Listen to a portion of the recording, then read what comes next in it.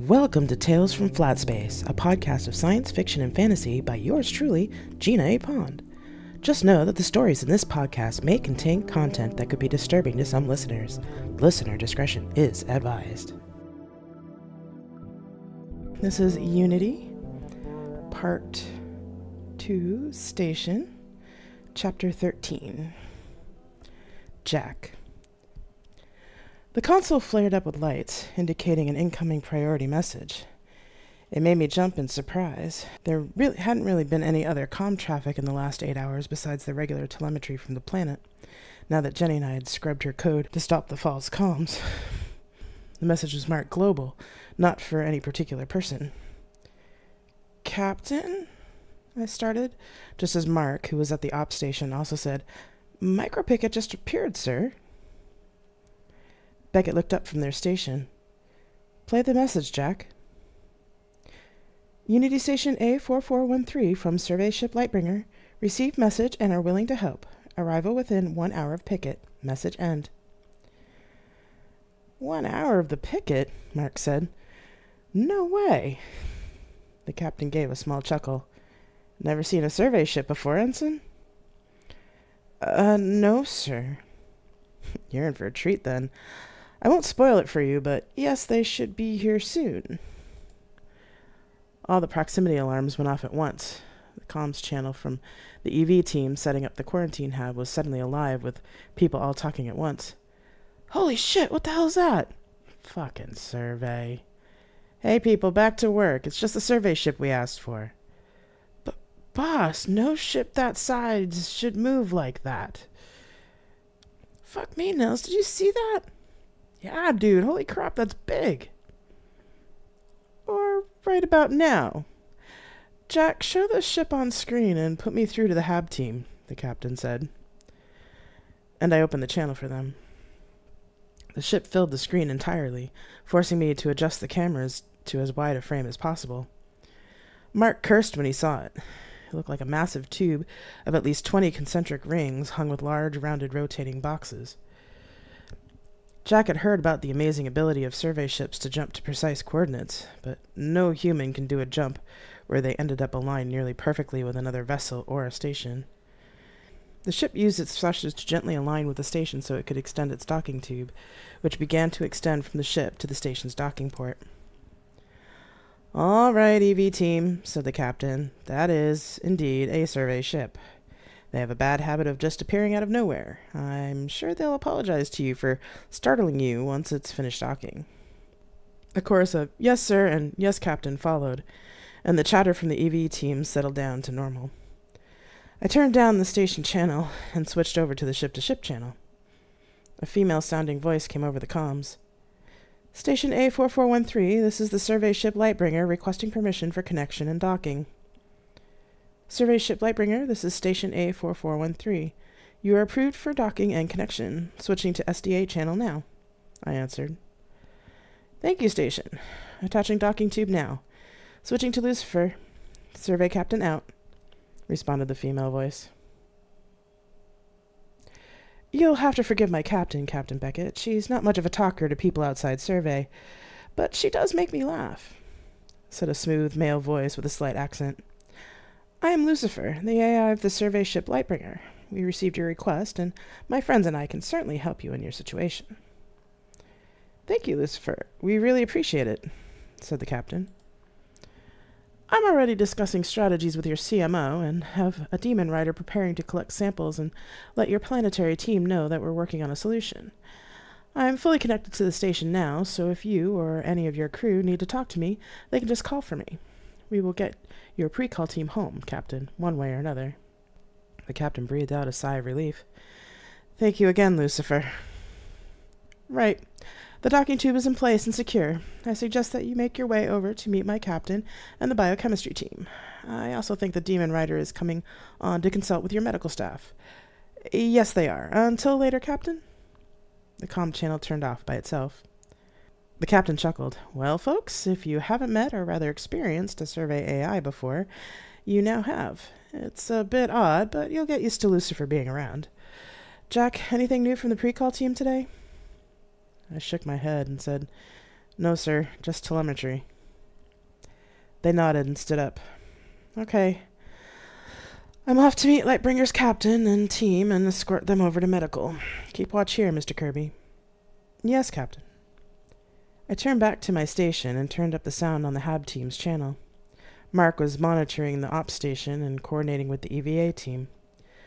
I checked the com traffic again, seeing the uptick in local traffic, but the pre-call team traffic still stayed null. My wristcom buzzed, notifying me of a personal message. I keyed it open. To Lieutenant Kirby from Lucifer at Lightbringer. Lieutenant Kirby, contact me when you are back in your quarters for the night. Lucifer. I didn't have to ask how, but I was certainly wondering why. Unless it knew that Marcia and I were the ones who blew the whistle on Beckett and Morgan? Knowing what little I did about Survey, I could guess that Lucifer knew everything that happened since they were now connected to the station. The AIs on survey ships were practically omniscient, so the rumors said. So it wouldn't surprise me if they knew about Jenny, too. I deleted the message without answering and went back to my duties. I got back to my bunk later than I had planned, since the EVA ran over. I picked up a packed dinner from the mess and opened my door on autopilot. I was tired enough that I had forgotten that Jenny was still in my room, and startled myself when I saw her on my bunk. Oh, shit, Jenny, I forgot you were still here, I said, as she sat up from the bunk. She blinked at me for a second. Yeah, still here. Figured I should sleep since I'm taking your old shift. I waved her back onto the bunk and took the desk chair. No worries. I put my dinner on the desk. Oh, crap, I should have picked up one for you, too. It's okay. Marcia came by around dinner time and brought me food. She caught me up on everything and said that you were on comms full time. She paused, thought for a bit, then continued. You know, in all my work to make a new life, I never thought to apply to survey.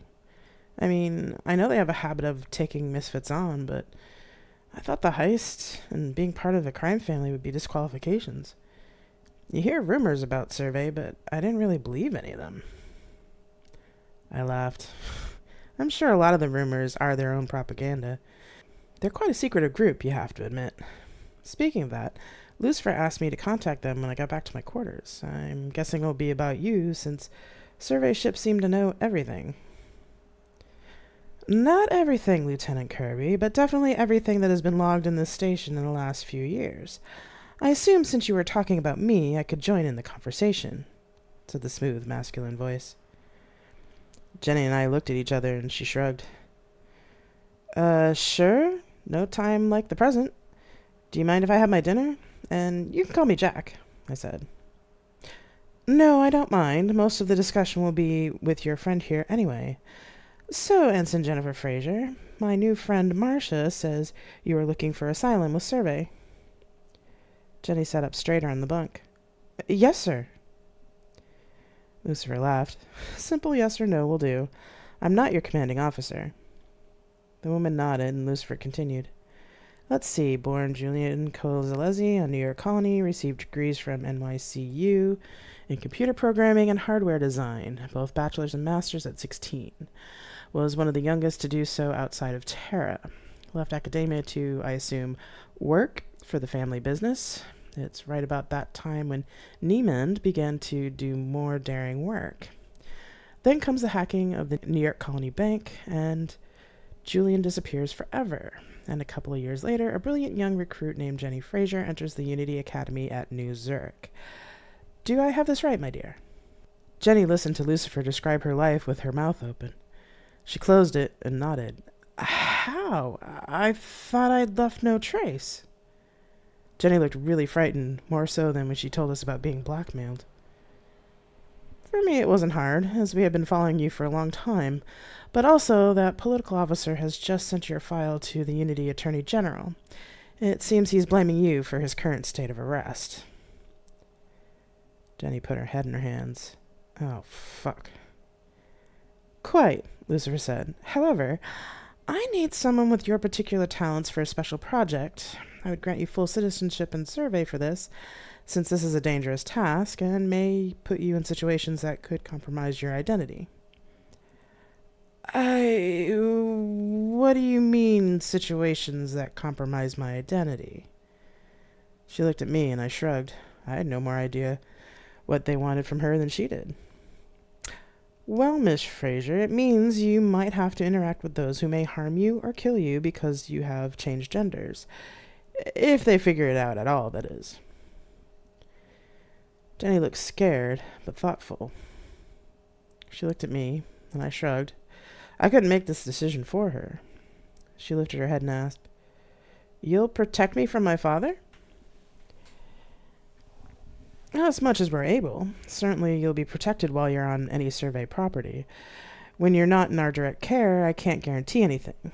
I'll have to work something out with Unity, but that will be easy to arrange. I don't ask you to do this lightly. You are the right piece at the right time in a very big puzzle, Miss Fraser, and if things go as we think they will, you might be more important than you realize. Jenny relaxed, and to my surprise, smiled. All right, then. You've got a deal. Excellent, said Lucifer. Just let me inform your captain and my captain, and we'll get you aboard. I already have quarters set aside for you. I will send someone to collect your personal effects.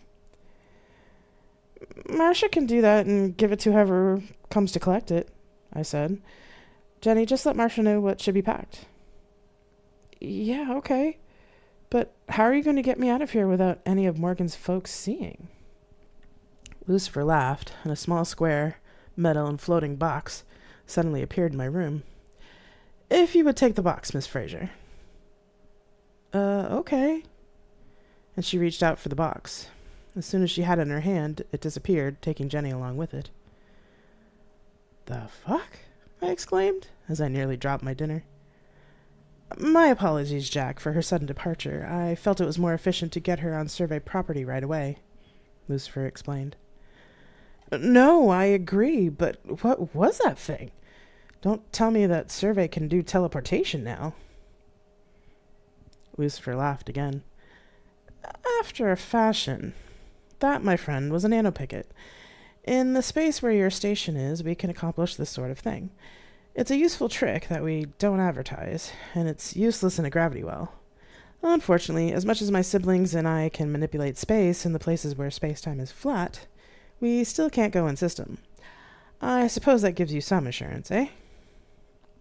Assurance? I asked. That humans' wallabies be needed for something, Lucifer said flatly.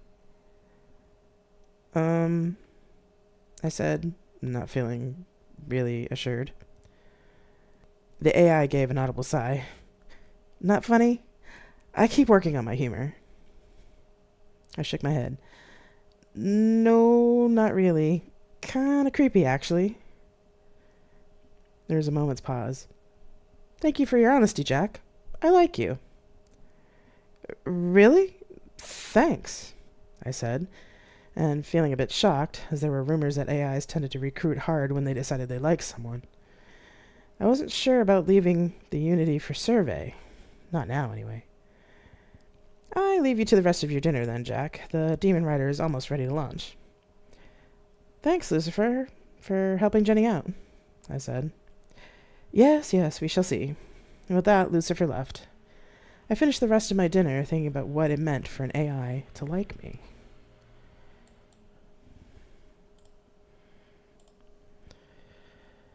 Chapter 14 Jack Within hours of the Lightbringer arriving, the morale on the station seemed to improve greatly. When I entered ops the next morning, there was a sense of excitement in the air. Jansen was on watch when I came in.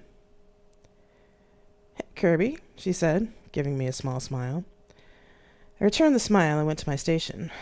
The XO continued as I settled in. The Demon Rider is getting ready to head out and will use real-time comms with us until they are out of range. They should be about two weeks, but Lucifer says they'll do regular comms from the planet. Yes, sir, I'm on it. She laughed. No doubt there.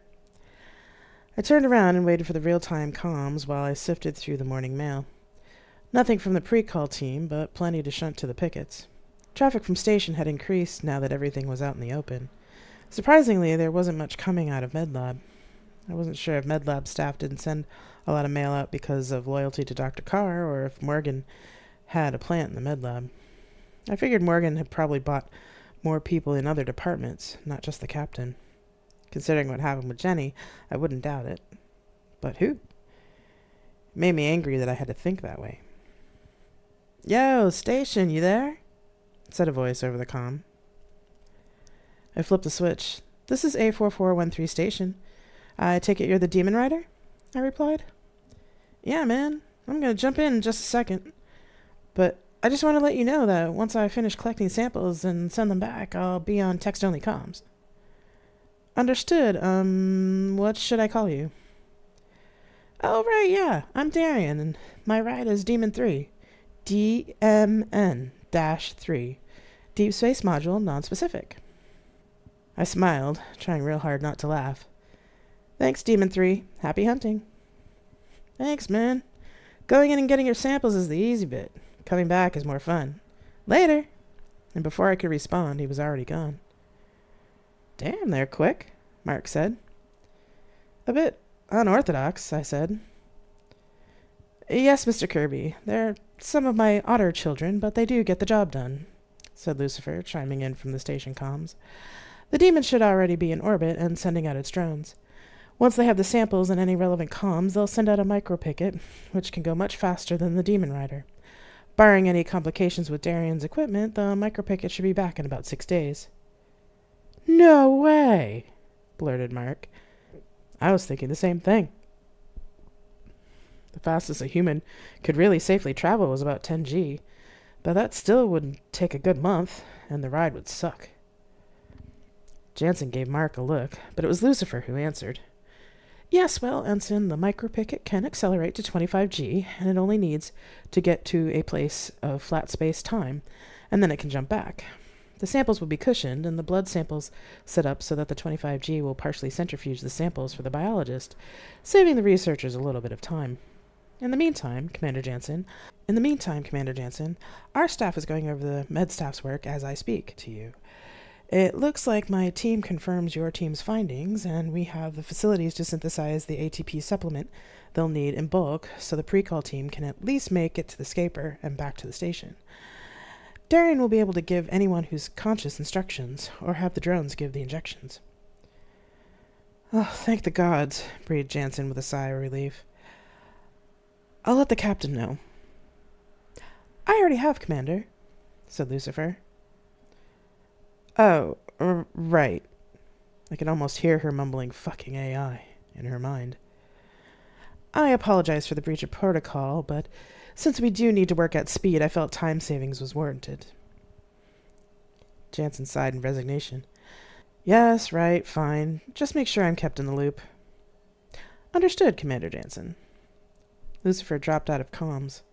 I thought it was interesting how it seemed like they left the room when the conversation was over, but I knew they were able to listen in on any conversation. I wondered how the survey citizens dealt with an AI listening in all the time. I turned back to my station, although there wasn't much to do until we started getting signals from the demon and the micropicket. While I shunted more of the outgoing mail, I felt someone behind me. Don't turn around and make it like I'm just watching the mail over your shoulder, Jansen whispered. Listen, I want to thank you. I knew someone was in the gym that night. I hoped it was someone who we could trust to do something, and luckily it was you. I owe you one, Kirby. A big one. I was shocked. I didn't realize she had seen me at all, never mind that she knew I had heard her in the captain's conversation. Uh, thanks? Just doing what's right, you know? Thank the gods someone is, she said. She patted me on the shoulder, then went back to her station. Mark, how's the supply getting on with the outfitting the quarantine ham? In this game, there are no accidents, Jack, the Morrigan said. No shit, I thought back at her, still a bit stunned by the conversation. Marcia. I looked at my wrist com. Twenty more minutes and I can get him out of my office, thank the gods. Since the captain had declared the pre-call mission a failure, Jim seemed inclined to actually do his job instead of harassing me, which I was both grateful for and a bit suspicious about. I think this is all we can plan for the moment, at least until we get more information from the demon rider, which should be in the next day or so. Good, he said. He was sitting on the couch, which he always did, regardless of what I wanted. So, he drawled, I heard that it was you and your little lapdog who got Morgan arrested. I frowned. Lapdog? Yes, Jack and I uncovered his part of the conspiracy. I sighed. I won't talk about this with you. I think you should leave now. Jim stood up and came around my desk, putting himself in front of me, invading my personal space. No, I don't think so. And Morgan is an idiot anyway. He had me trapped. There was nowhere to go. Oh shit, I thought. Papa! I shouted in my mind. Suddenly, Jim's hand was under my chin. He held my face in a painful grip, forcing me to look at him. He smiled. Now, woman, I'm going to take what's mine, and you're going to like it. He leaned over and kissed me hard, forcing his tongue into my mouth. I couldn't shout. I kicked with my legs and tried to scratch with my hands, but the way we were angled, I couldn't get a hit in. He grabbed me in a vice-like grip and pulled me out of the chair, turning so that he could pin me to the couch. Come on, you little bitch. You know you want it from me. You've been teasing me all this time, telling me no, trying to tell me you're asexual. You just haven't had enough dick in your life. His eyes weren't quite sane, and he was looking at me like I was some sort of prized piece of meat. He held me down and kissed me again, using his arms to keep me down. But when he moved one arm to try and get my pants off, he was thrown off balance and I was able to bring my knee up and kick him in the crotch. He grunted and let go of my other arm. I shoved him to the floor and launched myself from the couch to behind my desk, and I put my chair between me and him. He stood up, breathing heavily. You fucking dirty pleb. You're nothing, do you hear me? You're fucking slut just like all your race. Get out, I said through clenched teeth. He laughed. You think anyone's gonna believe you? Black little bitch like you, you're lucky to get anything from any man. I slammed my hand on the door plate on my desk, and the office door opened. Get out! I screamed. Bitch, he started to say, but then suddenly someone grabbed Jim from behind and pulled him out of the doorway. I heard a body slam against the wall outside my door. As I ran out from behind my desk, hear struggling, and then Jack saying in a calm but deadly voice, Try it, motherfucker. I dare you. When I got to the door, Jack had him pinned to the wall with his arm under Jim's throat. The blond man went still. Jack looked sideways at me as to keep an eye on the other man. Is this person bothering you, ma'am? he asked me in the same deadly voice, which I knew wasn't all him. I could see other eyes looking out from his. I held on to the door jamb, shaken, but relieved that Jack and whatever spirit was with him had come to help. Yes, I replied in a shaky voice. My reply made Jack's face turn to marble. He pushed his elbow a little further into Jim's throat, then looked around at the growing crowd. His eyes found someone, and he called out, Mark! Mark came over, looking nervous. Mark, since most of the legal staff are under lock and key, I need you to go find the XO or the captain and have them come down here. Marsh has been assaulted and needs to make a statement. Both of them, if you can manage it. Have them meet us in the chapel. Mark's eyes widened in understanding. Then I could see anger wash over his face. He looked at Jim for a moment, then said, Yes, sir, and ran off, tapping his wrist com. Come on, asshole, into the chapel, Jack said twisting the man around and pinning his arm behind his back. He turned to the crowd that had gathered. You can all leave now, he said loudly, with the same cold voice as before. Some people jumped, and others suddenly remembered they had things to do. Jack turned and marched Jim into the chapel. I followed in a daze. He shoved the man to the far end of the chapel and ordered him to sit. There were no chairs on that side of the chapel, so he had to sit on the floor. Jack stood over him and said, don't move, or I will kill you. Just give me an excuse. For a second, I thought he was going to smirk and talk back to Jack, but when Jim looked him in the eye, something there made him nod submissively. It was then that the captain, the XO, and the doctor came running into the chapel, followed closely by Mark. They stopped short when they saw me, and Carr immediately came over and started examining me. Captain, she's got bruising on her neck and shoulders, consistent with being grabbed. Carr said quietly when the captain came over to me after talking to Jack. Sam nodded. Let me get this asshole out of here, Marcia, and I'll take your statement, okay? They said gently. I nodded, the shock starting to set in. Carr coaxed me to sit. Mark, get security down here on the double, Sam ordered. Mark left again. From the corner where Jim and Jack were came laughing. Why are you protecting that little black bitch, huh? Not man enough to take her? Then again, I heard you were just a little faggot anyway. Shut the fuck up, asshole, Jack said, in a much more dangerous tone before. The others in the room stared in shock at the use of ancient Earth slurs.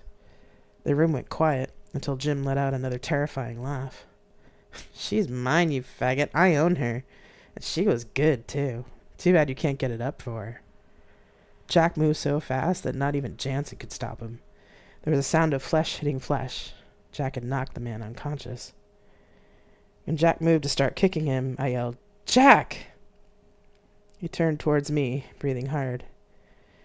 He's not worth it, I said quietly. Jack spat on him and then went to the other side of the room, facing the wall, to try and calm him down. Security came in. Sam took a deep breath. Take that asshole laying down in the corner to his quarters. It's Dr. Adelson. I want two guards on him 24 7 and pull all his biometrics and access permissions so he can't try and get out. Man's lost his damn mind. CMO, I second that assessment, Carr said, still looking shocked. The guards took in the room, and me, and pulled the man none too gently out the door. Sam watched them leave, then shut the door to the chapel. The XO was talking to Jack, who seemed to have calmed down some. He nodded, then went around to his cubicle. I could hear him picking things up, the noise of the recycler, and moving his chair. Marcia? said Sam. Yes, I said, blinking. Do you want to give a statement now, or do you want to wait until after you go to medbay? Medbay? I said, not really comprehending. Yes, the said Dr. Carr in a gentle voice. I need to examine you completely, and it would be better to do that in medbay. He lied, I said. He couldn't get my pants off. I kneed him in the crotch. Jansen came over and kneeled in front of me. Marcia, Dr. Carr still needs to examine you, okay? Do you want me to take you? I nodded. And Jack. All right, she said. I can get her statement, Sam. Sam nodded as Kate gently helped me stand. My legs were wobbly, but suddenly Jack was there and offered his arm. I could feel the strength in him, supporting me as I took it, and the three of us left the chapel. Chapter 15 Marcia Two hours later, after getting examined by the doctor and giving my statement to the XO, I was ready to leave the med bay. I put my uniform jacket back on and said to Jack, I need to get out of here. Hang on a sec. He went over to talk with Dr. Carr and the XO for a moment, then came back. Okay, Doc says that we can go. I'll take you to your room, okay? I nodded. Jack held out his arm, and I took it, grateful for the feeling of support. The halls were quiet, as it was dinner time, which I was grateful for. There were a few people who came through the hall, some looked at me, saw me being escorted by Jack, then nodded and went about their business. I guess your TKO has gotten around, I said. I'm not surprised, he replied. Also, Adelson wasn't well liked, and you were loved by the crew. I think a lot of people think of you as a mom, so some folks may be a bit overprotective of you for a few days. I also think that if Adelson weren't locked up, he'd be dead. We reached the lift, and I looked at Jack as we took it down to quarters. I was shocked. I'm not that special, Jack, I said in a quiet voice. He put his hand on mine. You are, Marcia, believe me. I nodded. He's not wrong, granddaughter, said Papa. We reached my hallway, and I started to panic. Jack, I can't stay in my room. His quarters are close to mine. He knows where it is. My breathing became shallow, and I started to sweat. Okay, Marcia, it's okay. We'll go to my room. Come on, he said, as he gently turned me around and back to the lift. We went down one more floor, and as we got further away from my quarters, the panic started to ease. I took a deep breath. He palmed the door to his bunk open, and we went inside. He sat me down on the bed. Do you want tea? I think we could both probably use some. I nodded. He busied himself with making tea. My body felt like lead, but my mind was starting to actually think again. Lucifer? Yes, Reverend Brooks? Are you all right? I heard about the incident earlier. Lucifer answered. Jack looked at me in surprise. I'm okay for the moment. I said, Can you check this room for bugs and my room too? In one moment, they said. Jack nodded in understanding and finished making the tea. Suddenly there was a small popping sound from the desk lamp, and little streamers of white smoke were visible in the light. The fuck? Jack said. Anger rose in me. I wondered. What about my room, Lucifer? Yes, there was one in there too. There seems to be one in all the staff rooms. I have dealt with them all. Fucking bastards, Jack said. Yes, quite, said Lucifer. Not very skillful, though. You're all set, Reverend. Is there anything else I can do for you? Uh, not right now, Lucifer. Thanks, I said. Jack handed me the tea and sat on his desk bench. I stared at the mug in my hands, not looking at Jack. To be honest, I was embarrassed. How did I let him get so far? I thought. Hey, Marcia. Yeah? Jack took a breath. Why didn't you tell me he'd gotten worse? It wasn't an accusation, just a question. I. I wasn't sure if you'd believe me. Came over to kneel in front of me so I could see his face. Marcia, I would have believed you, and I do believe you. That bastard is more than he seems. I think you're right, I said. I should have known that you would believe me. I'm sorry. Jack shook his head. For what? You have no need to be sorry. Sorry for not trusting you enough. Even Papa told me to tell you, but I didn't listen. He patted my hand, then stood up and went back to the bench. It's okay. You've helped me at my lowest and stupidest. The least I can do is help you now. You're my friend, Marcia. Closest friend I've had since the pre-call mission. So much older than you, though. I could almost be your mother. So, just because you're older doesn't mean you can't have close friends of any age or gender. Listen, I don't know about you, but I feel like something more is going on here than just a failed pre-call. I felt that even before the damn warrior princess in my head started talking to me, especially about Adelson. He always felt wrong. I think that's partly why I wound up doing my sessions with you in the first place. Something in me, in me something in me didn't want to tell him anything personal at all. I wish I had listened to that instinct myself, but I was professionally obligated to do sessions with him, I said. What did he do to you, Marcia? I was giving my statement when he, you gave yours. I looked up at him and I realized my face was wet. When did I start crying? I wondered. I took a deep breath. Jim, he. He's been wanting to, me to sleep with him since I got here. First, it seemed like just annoying flirting, but when I told him I was asexual, he seemed to take that as a challenge. Backed off for a little while after that, but after you got here, it started again. Beginning with the sexual innuendo, and then extra long touches and trying to hug me in public places. I took another deep breath, and my voice started to become quieter and flatter. And then today, he actually came around the desk and grabbed me he he kissed me hard and was holding me so hard he said, Come on, you little bitch, I know you want it from me. You've been teasing me all this time. Then he held me down on the couch and tried to take my pants off. He had to lift an arm to do it, so he was off balance. That's when I managed to kick until I hit his balls. He let go, and I told him to get out, and he just stayed there looking at me, staring at me like I was property or something. He stood up and said, You fucking dirty plebe, you're nothing. Do you hear me? Who's going to believe a dirty bitch like you? Like he said in the chapel. That's when I yelled at him to get out, and you came running. I began to shake, and Jack came over and gently took the mug out of my hand so I wouldn't drop it. I could almost feel the anger coming off Jack. Holy shit, Marcia, that was rape. That asshole's lucky I only decked him. He wasn't worth it, Jack, I said. I don't know, he said, then looked thoughtful. I wonder. Adelson's around 70 or so, right? I think so. I looked at Jack, and he seemed to be thinking something over.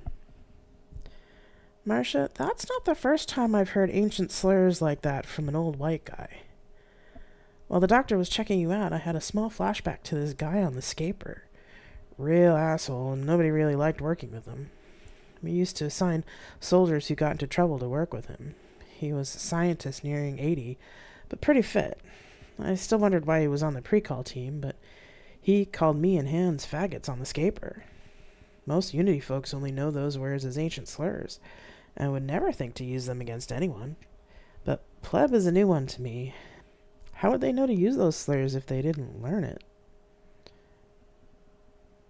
Oh my god, they're not from Unity, I realized. It seemed so far-fetched, but it was the only explanation that made sense. Jack nodded.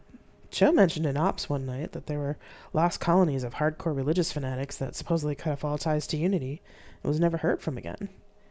I read a little bit about it later, and the article said that some of them went so far as to destroy their stations. It doesn't mean, though, that they wouldn't necessarily come up with their own tech and ships after a while and try and come back. There were rumors in Unity Intelligence, but no one really believed them publicly. Most of the colonies were supposed to be too xenophobic to have anything to do with Unity. Marcia, if that scientist in Adelson can move into fairly good positions in the colony program, that means that they could have people anywhere within Unity. People in important positions. They could have been working on this for years, decades even, and Jack looked horrified. I didn't want to think of the repercussions of religious fanatics within the Unity government. Adelson was one, but what if Morgan was too? Who else on station could be working for them, or actually one of them? We looked at each other and we didn't have to say it out loud. Who do we trust? I held up my hand. Jack took it. We stayed that way for a while. Oh, well, my friends, said Lucifer, making us both jump and let go of each other. I now know that I can trust you, since you have come to the same conclusions as Survey. Or rather, my siblings and I. But one thing at a time. Now that I've exterminated all the illegal bugs on your station, we need to focus on getting the pre-call team back. Exposing religious fanaticism will need to wait. But I promise you can trust me, and Jenny too. Keep your eyes open, friends. And with that, it left, as we continued to stare at each other. Well, I said. Yeah. The adrenaline and shock were finally wearing off, and I was exhausted, but I didn't feel safe enough to sleep. And frankly, I wasn't too enamored of being without Jack's protective presence. I yawned. Uh, do you want to stay here tonight? Jack asked. I blinked. What? Just to sleep, so you won't be alone. I know where to get extra sleeping stuff, thanks to. Oh, I said, relieved. I let out a laugh that sounded only slightly edged with hysteria. Religious staff slumber party? Something like that. I smiled. Okay, sure. I paused. I'd rather not go to my bunk by myself right now. I don't blame you, said Jack. Right. Stay here while I raid supply. I'll lock the door when I go out. I nodded. As he got up to leave, I grabbed his hand again. Thank you, I said, for protecting me. I take my job just as seriously as you do yours. Go ahead and take the bunk. Maybe we can watch a vid when I get back? I nodded and let go of his hand. He left, locking the door behind him. I went over to the desk and gulped down the rest of the tea Jack had made for me. I took off my shoes and uniform jacket, then laid down on the bunk. I was sure I was too keyed up to sleep. I closed my eyes, thinking I'd just try and relax a bit before Jack came back, but my body had other plans. Sleep went out quickly over my mind, replaying the feel of Jim's hands holding me down. Chapter 16 Jack. The older folks are able to move around a bit, but all the soldiers and younger folks seem to be flat out. The head scientist says that they can't do much more than feed themselves, go to the bathroom, and set up IV nutrition for the worst cases. He also says that the canaries died last week. They just kind of fell asleep and never woke back up. They were super relieved to hear from me, though. They thought y'all had forgotten about them. I sent you all their blood samples, along with grass, soil, air, and water samples. But seriously, man, it's pretty rough down there. If you've got anything to help them, you better send it fast, or they may not make it. Right now, the most alive ones can barely walk across the room, let alone get to the scaper. My resources on the demon are still good, so I don't need any resupply. Later. As the last words of Darian's message from the micropicket winked out, the rest of the staff in the room stared at each other, then at the captain, who was stone faced. They just quietly said, Doctor? The CMO cleared his throat. Well, yes, the samples are with Lucifer's folks right now. They agree that it looks like some bacteria like organism, but it also has some viral characteristics. We think the ATP supplement will work to counteract the symptoms, but it's just a stopgap measure. In fact, because of the imprecise dosing, it could do some damage. The head xenobiologist from Lightbringer chimed in. Once we can isolate it from the samples that Darian sent us, we'll have a better idea of what direction we need to go in the ATP supplement should at least get them up enough to where they can get to the scaper and on their way back here. The captain nodded. The chief engineer raised his hand, and the captain gestured for him to speak. They'll have to go on autopilot if they're that bad off. Lucifer, would Darian be able to patch into the scaper, or maybe send a drone in with the crew? Darian wouldn't be able to patch in without Unity codes, but he can certainly send one of the sample drones in to manipulate any controls that needed to be manipulated. The engineer nodded. Luckily, the scapers are pretty foolproof. All he'll need to do is have the drone press the auto launch button and ensure that the door seals are secure. Can the drones manipulate door plates? Yes, Darian has a drone capable of that kind of work. He most likely already has it on planet since it is useful for soil and water collection. Right, so once they can get to the scaper, they should be okay until they get here. For some value of okay, I thought, but didn't say it. Beckett thought for a moment, then said quietly, They'll have to leave the dead there. It'll be hard enough for them to get all the live personnel into the scaper. Dr. Carr spoke up. But, Captain, no, the captain is correct, Dr. Carr, Lucifer interrupted. We can have Darian instruct the drones for burial, which I assume will be suitable? The captain straightened in their seat. We'll need to check their religious preferences, but yes, that is correct. Jack, have Marcia look up the Canaries files, would you? Carr, you and Lucifer's team synthesize enough of the supplement to get them up and about on the planet, and through the five months it'll take them to get here. Then keep working on figuring out how to cure this thing. Jack helped Dr. Carr and the chief record the instructions for Darian. How long for synthesis? The doctor thought for a moment, but it was Lucifer's xenobiologist that answered. We can synthesize it on Lightbringer in 24 hours. The CMO looked like he wanted to say something else, but then nodded. Good, then let's get to it. Dismissed. Everyone stood up and started to leave. I started to follow the rest of the staff out of the conference room, but the captain said, Jack, can I talk to you for a moment? Yeah, sure, I said and turned around. The captain motioned me to have a seat, and they waited until the room cleared and the door closed. So, they said. They hesitated for a moment. So, uh, How's Marcia doing? Better. Still shaken up, though. I think she can handle general duties for the moment. I didn't say any more, since I didn't know how much the captain knew outside of Marcia's statement. When's the carrier supposed to get here to, uh, cart them off? I almost said the assholes, but I figured I'd stay diplomatic.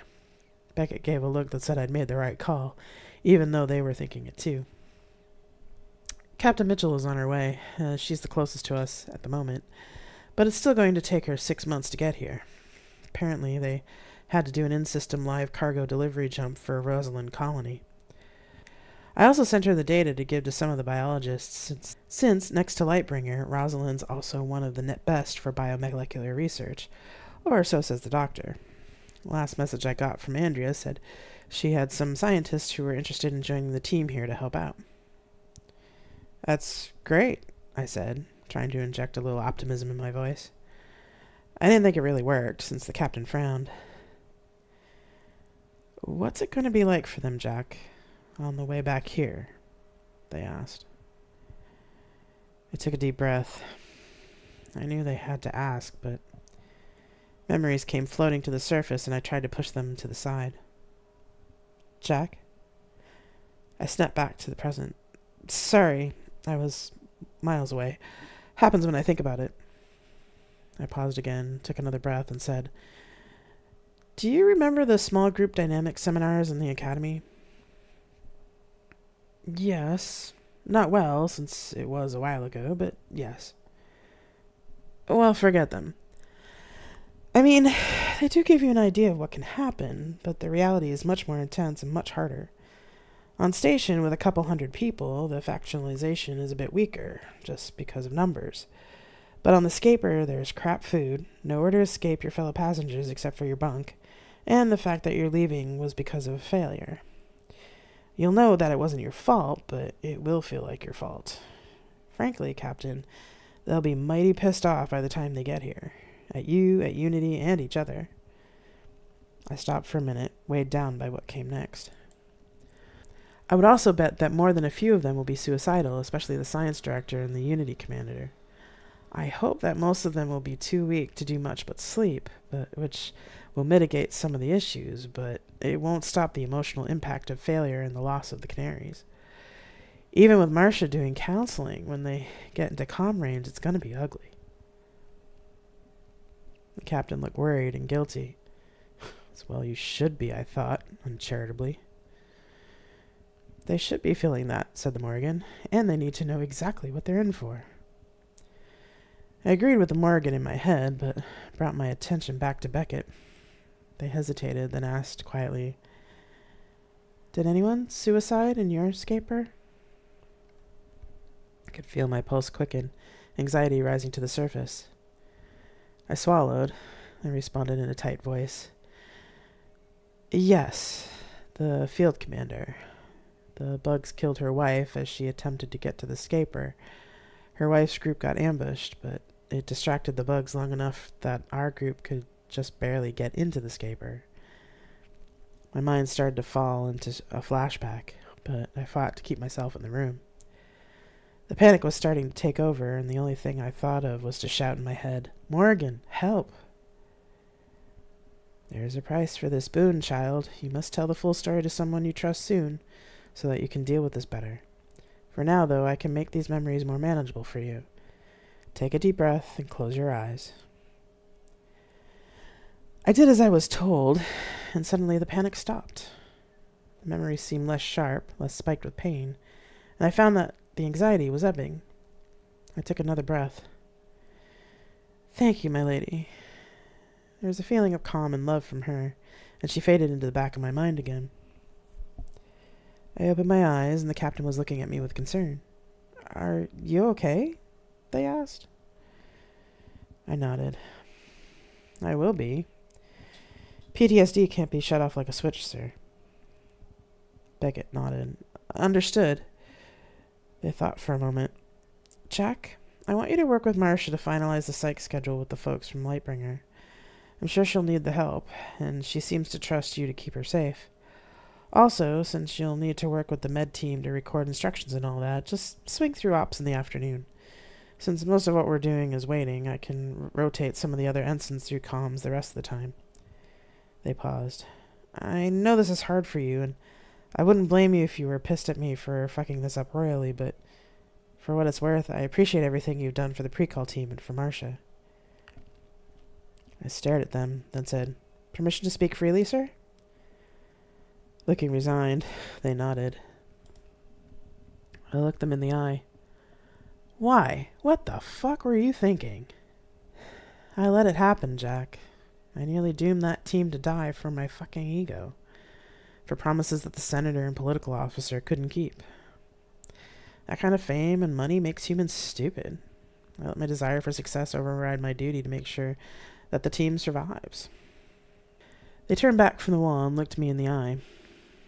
I'll see this through, Jack, whatever it takes and whatever prison sentence I end up with. I will make sure they survive. They're not lying to you, and I admire their humility, the Morrigan said.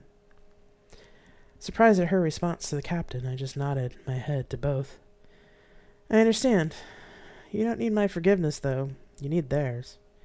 And you'll need to forgive yourself eventually, if you can. I stood up and went to the door at the other end of the room.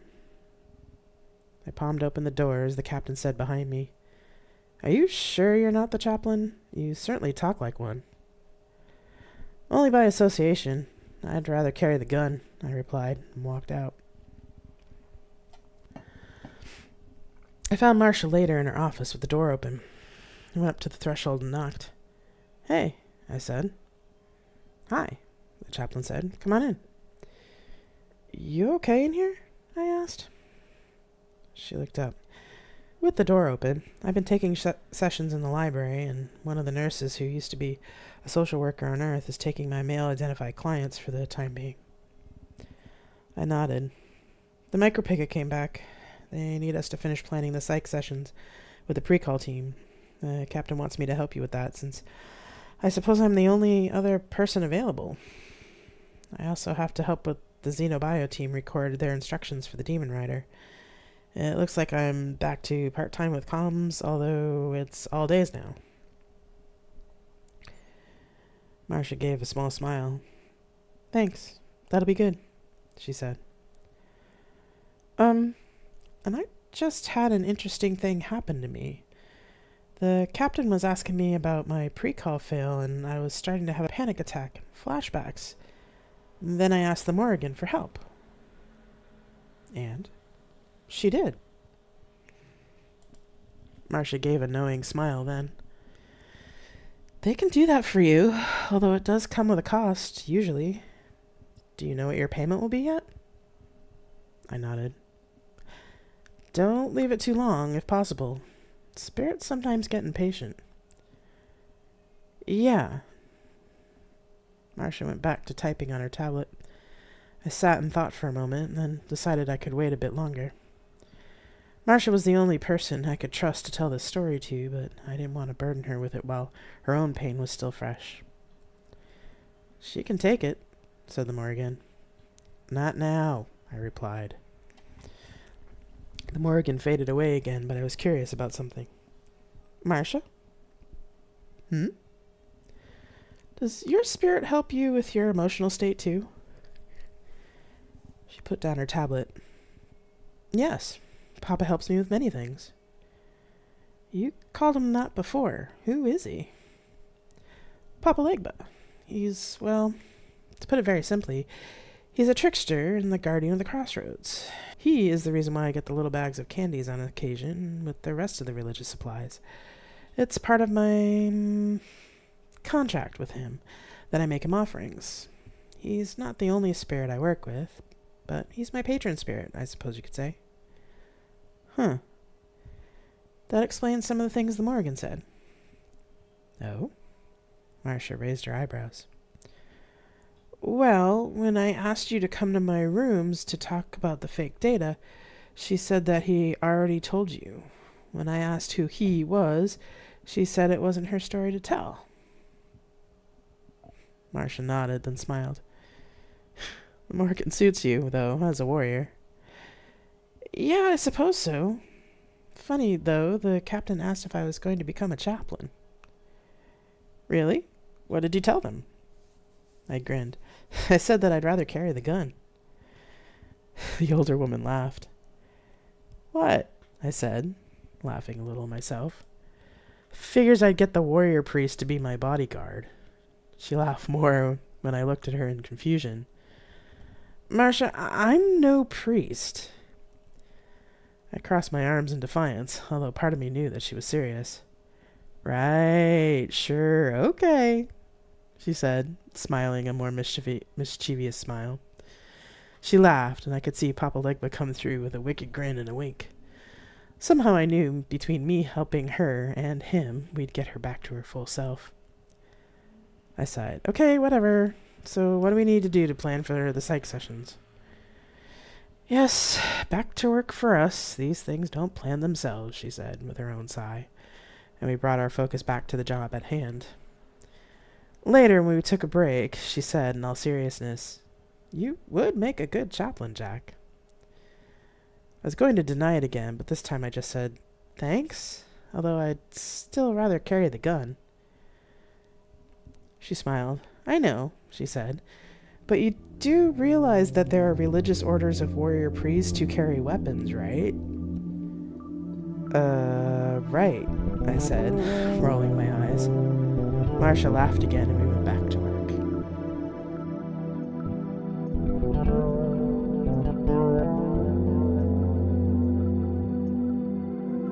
You have been listening to Tales from Flat Space.